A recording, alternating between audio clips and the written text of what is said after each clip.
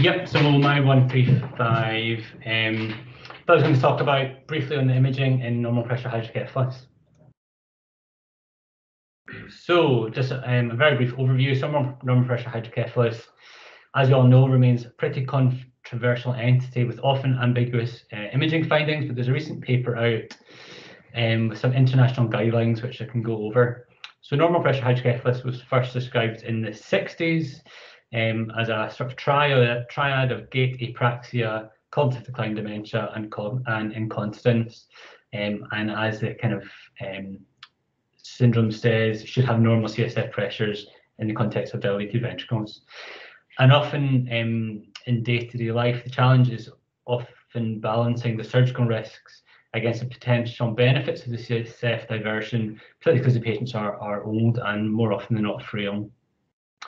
CT and MRI are both uh, as good as each other in um, confirming dilated ventricles, but MRI is probably better in looking at some other features which I can talk about and also in ruling out um, other um, etiologies. So key imaging features. so uh, first feature that, that, should be there for a diagnosis of normal pressure hydrocephalus is ventricular enlargement, which is not entirely attributable, attributable to cerebral atrophy or congenital enlargement.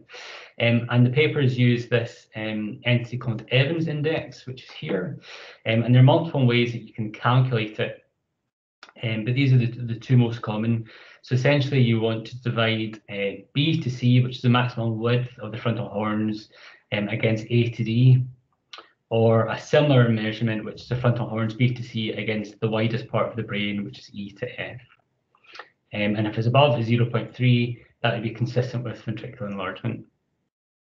Um, as an aside, other features you can get with regards to ventricular dilatation is often crowding at the vertex um, which is often disproportionate to the more lateral um, subarachnoid spaces such as the Sylvian fissures.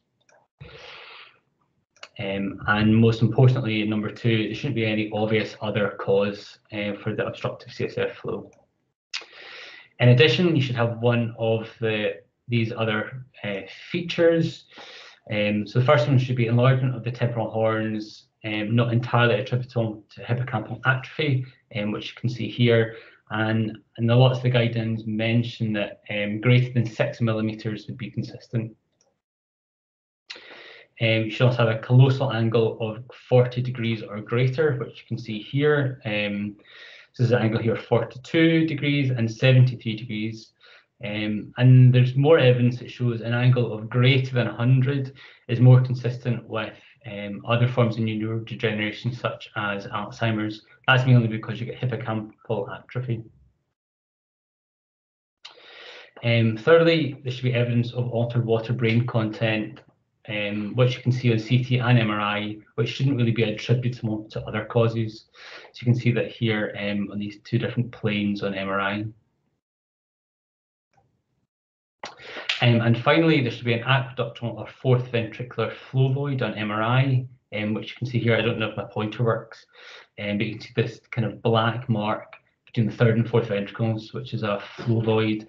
And often in MRI, um, it's a loss of signal which is correlated with hyperdynamic CSF flow.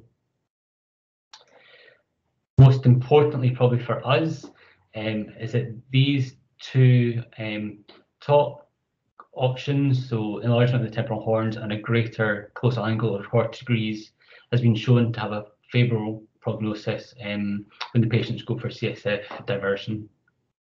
And that's me.